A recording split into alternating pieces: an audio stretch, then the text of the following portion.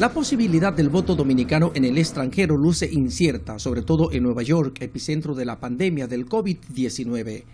Todas las condiciones están dadas para que bajo un sistema, un régimen, un protocolo sanitario se pueda eh, ejercer ese derecho.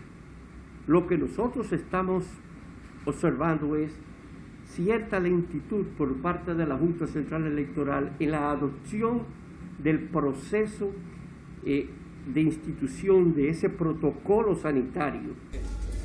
José Manuel Hernández Peguero dice que el Estado de Nueva York no se opone a la celebración de las elecciones en su territorio, sino en la modalidad presencial. Lo rechaza el PLD. Dice que la oposición quiere culpar a ese partido de esta situación.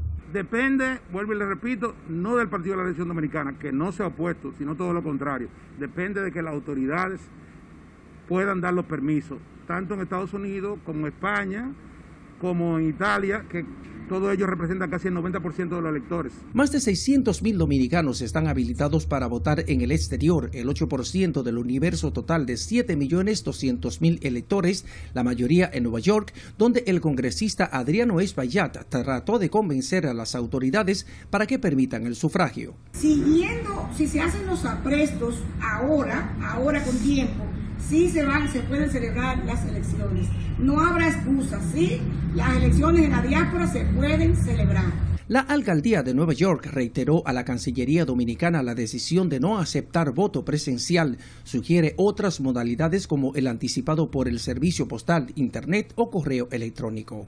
José Tomás Paulino, RNN.